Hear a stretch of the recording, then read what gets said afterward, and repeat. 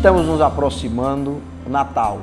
Natal significa nascimento, nascimento do menino Jesus e que o menino possa renascer em todos os lares de Maracanã, com muita paz, com muita harmonia, com muita prosperidade e que a gente possa ter um 2015 cada vez mais feliz, com muitas realizações junto, sociedade, gestão e os maracanauenses possamos ter um ano de 2015 cada vez mais feliz.